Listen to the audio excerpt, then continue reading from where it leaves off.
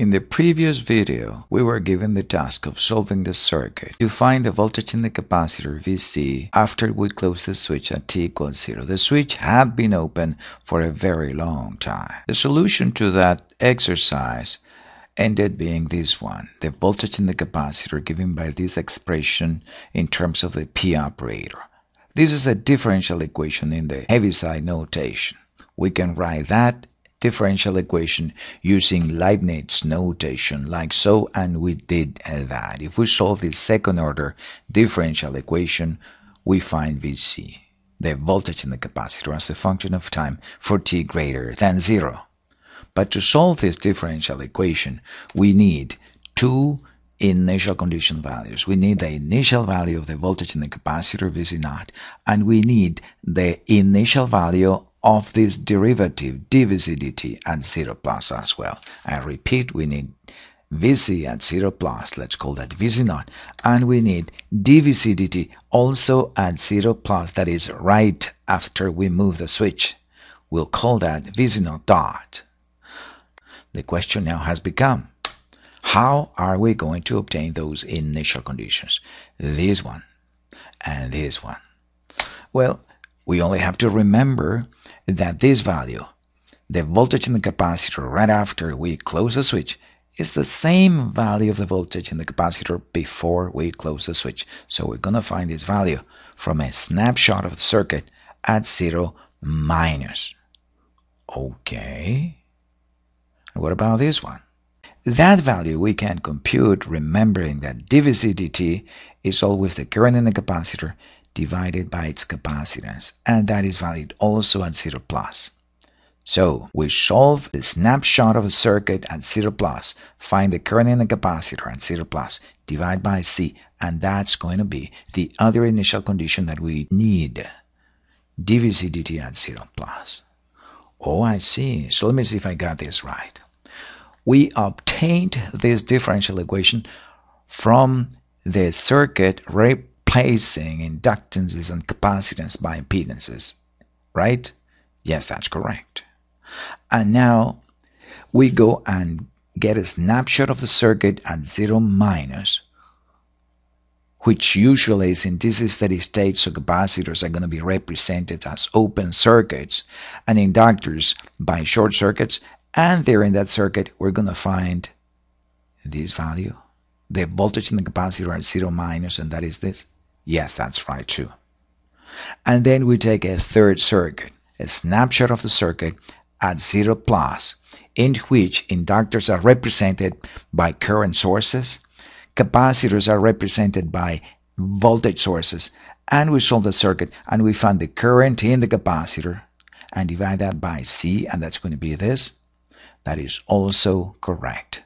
So to solve one of these exercises, we solve three circuits one in P, a snapshot at 0 minus and a snapshot at 0 plus. Let's proceed.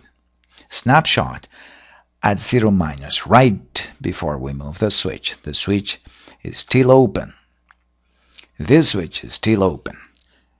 So that means that being that the circuit's been like that for a long time, it's in this steady state, and what we do is we represent the capacitor as an open circuit.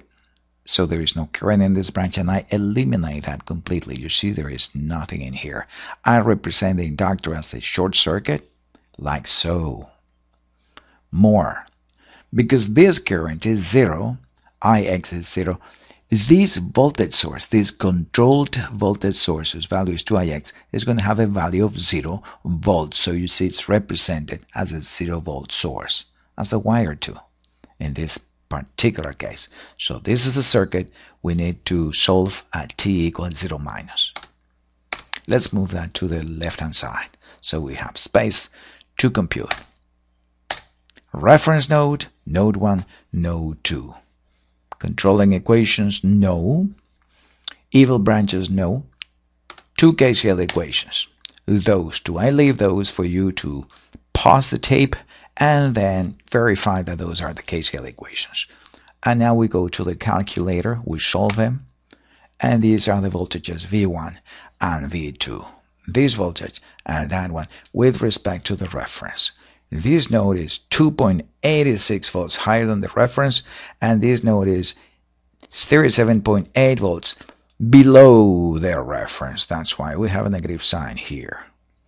Okay, but what we're looking for is actually the voltage in the capacitor in this circuit at 0 minus.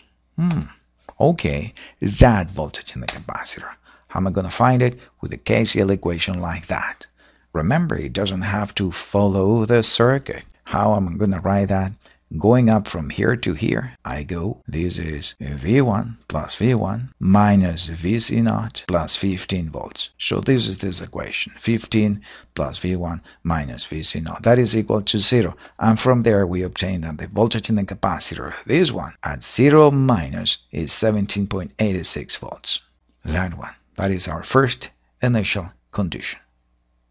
And the initial current in the inductor, in this inductor, is going to be given by this expression 10 minus V1 divided by 2 ohms. This V1, using that value, we get that the current in the inductor IL0 is 3.56 amps. And those are the two initial conditions of the voltage in the capacitor and the current in the inductor. And we're going to take them over to the snapshot at t equals 0 plus. Snapshot at t equals 0 plus. Well, in this circuit at 0 plus, this switch is closed, so this current source is bypassed. Fine. But now this inductor is represented as a current source with its initial current that we just computed at 0 minus, and this capacitor is going to be represented by a V source with its initial voltage that we just computed as well at 0 minus.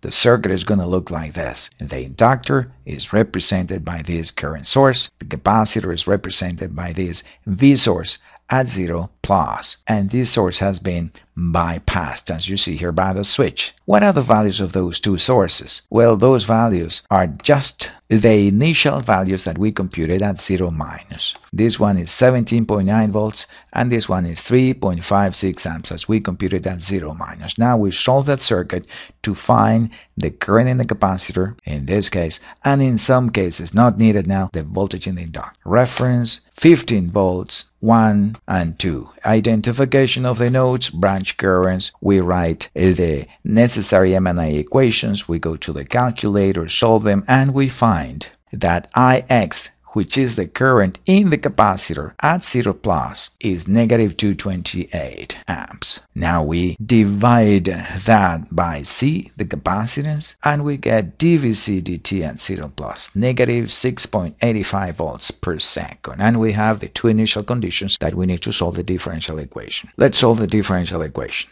The characteristic equation is a quadratic equation with the same coefficients and equated to zero on the right hand side. We solve that and obtain in this particular case two real and different roots, two eigenvalues that allows us to say this circuit is overdamped and the solution for this voltage is actually an expression like this. The voltage in the capacitor is going to be the sum of two exponentials with those two eigenvalues in the exponents.